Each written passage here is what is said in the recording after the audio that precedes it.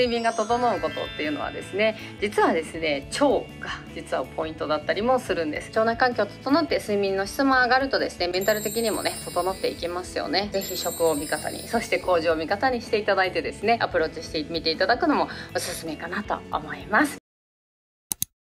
皆様暑い夏が続いてますけれどもよく寝れてますか？睡眠ってめちゃくちゃ大事だなっていうのはね皆さんご存知の通りかなと思うんですけれども暑くて眠れないっていう方もいらっしゃるしクーラーつけちゃうとちょっと寒いし私もですね7月17日に女性の働き方生き方フォーラムというのをですねパシフィコ横浜で1000人イベントという形でやらせていただいたんですけれども、まあ、それの前ね結構寝れなかったんですよ。もう寝れないのかなって思ってたんですね。なんですけど全然寝れました。したっていうねメンタルが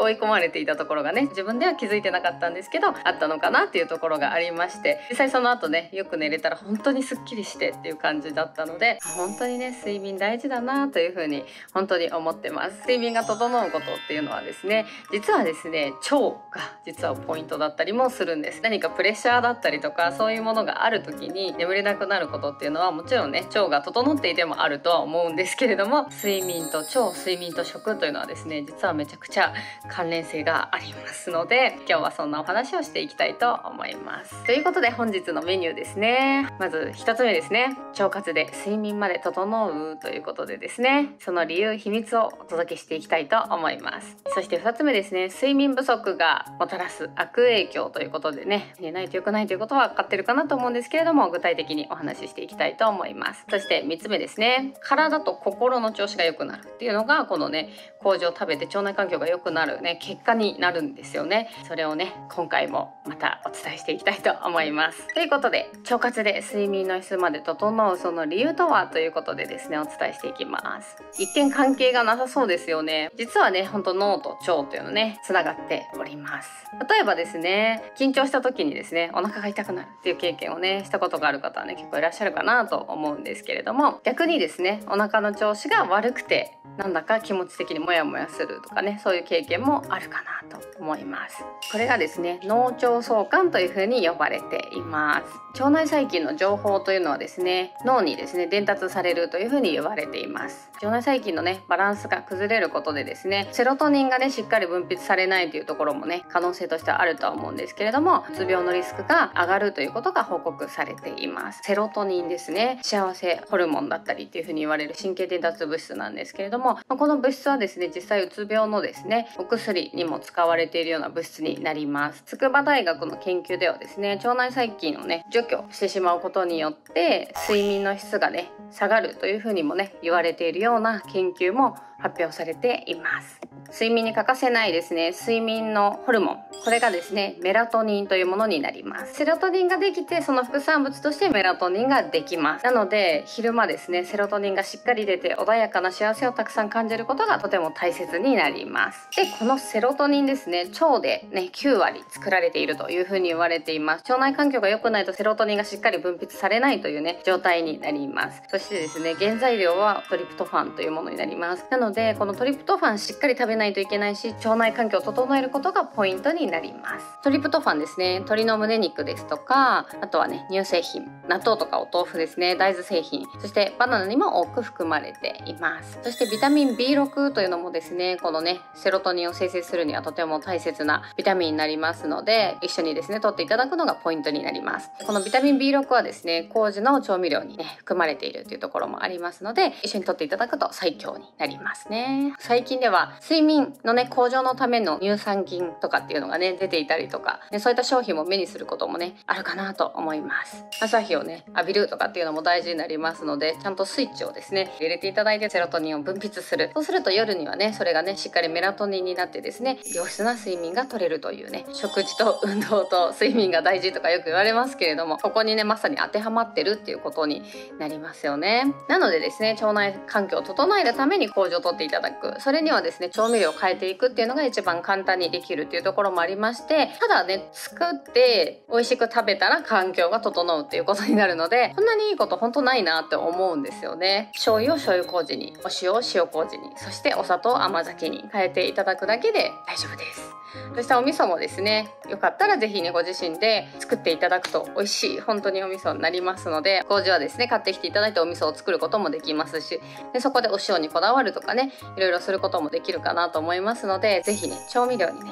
こだわるっていうのがねポイントかなと思いますのでやってみてください。そして続いてですね睡眠不足がもたらす悪影響についてお話ししていきたいと思います。眠いとね作業効率作業能力っていうのが落ちますよね。そして判断力がね低下するとか反応するのも遅くなるとか 車運転してる時に眠かったりとかすると本当にね何か事故のね原因になったりすることもありますしこのねリスクがね増大するというところもあります。寝れないと朝ね起きれないみたいな感じになって本当生活のねこのねリズムが崩れていくというところもあって、まあ、うつ病のねきっかけは眠れないっていうところからスタートするっていう方もね実は多かったりします。そして神経症のリスクもね増えます。そしてまあ不登校とか出社困難とかですね、まあ、起きれないことから始まるそういったものもあるかなと思います。糖尿病とか高血圧のね原因にもなるというふうに言われています。なんですけれども日本人はですね慢性的な寝不足と言われております。なのでですね睡眠時間意識的に確保するっていうのはねとても大切と言われております。夏はさらに寝苦しいというところがあってしっかりこう寝る時間を確保するということをねしていただくのがね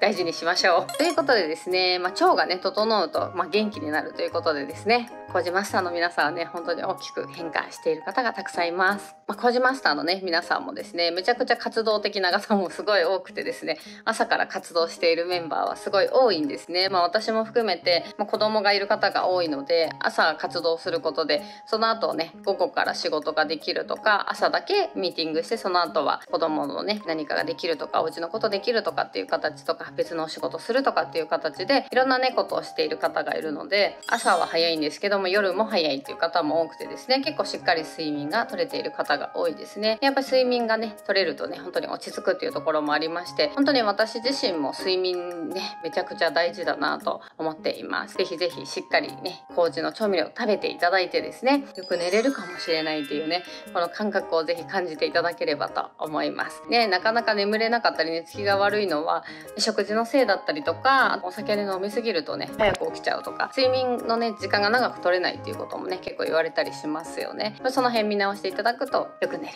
っていうことにねつながるかなと思いますので良質なね睡眠をとることで自分の体を整えてあげるといいかなと思います。腸内環境整って睡眠の質も上がるとですねメンタル的にもね整っていきますよね。何をするにもですねこのメンタルっていうところねめちゃくちゃ大事かなと思います。体とメンタルの部分とか体とマインドの部分って別で語られること多いですけれどもやっぱりこの神経伝達物質とかホルモンみたいなものというのも含めて全て食べ物から私たちの体はできています。食べることって本当にパワーがありますよね。睡眠っていうところがしっかり取れているベースがあることでマインドメンタルも整っていくっていうところにねつながっていくかなと思いますので何かね不安なことがある場合は食から整えて睡眠とかそういうね生活のベースを整えるところに逆に注力するとそれをできてからマインドとかねメンタルみたいなところにアプローチしていくっていうところをねしないといきなりマインドいきなりメンタルってなかなか難しいかななと思いますので是非食を味方にそして工場を味方にしていただいてですねアプローチしてみていただくのもおすすめかなと思います。ということでですね今日はですね麹かける睡眠ということでですね、まあ、睡眠イコールメンタルだったりマインドだったりっていうところね、まあ、そこにもつながっていくよという話をさせていただきました。麹はですね日本の国金でありますけれども本当にねこの麹の調味料を使うことで腸内環境を整ってメンタル整うっていうのはね本当にねなかなか皆さん知らないところなんですけどめちゃくちゃ大切だし大きなことかなというふうふうに思ってますのでぜひぜひ皆さんねここまで知っていただいてですねたくさんの方にお伝えいただけたらすごく嬉しいなと思います。で麹のね調味料はですね日本の本当に調味料お塩以外ですね全て麹からできているんですけれどもこれねご存知ない方もたくさんいらっしゃるし、まあ、醤油とか味噌とか普通に取ってるよとかっていう方も多くてだから麹取れてるでしょうっていう方も多いんですけれども今ね現代のですねお醤油とか味噌というのはなかなか麹のねパワーねこの発酵の力を使ったものっていうのはねほとんどありません。なんでかっていうと時間がかかるから。から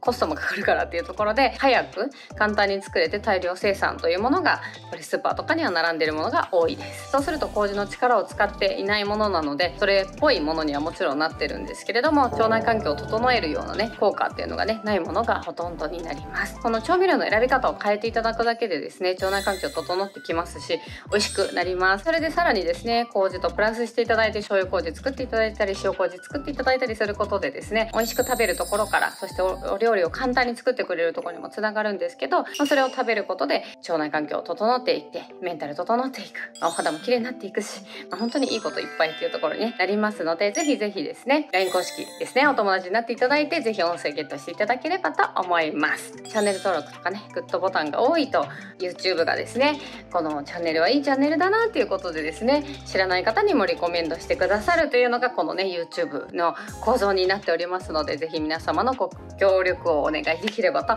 思います。毎日投稿してますのでぜひ応援していただければと思います。何か作ったらぜひコメント欄に入れてくださいね。質問もコメント欄ぜひお待ちしております。ということで今日も素敵な一日を。ではまたお次の動画でお会いしましょう。またね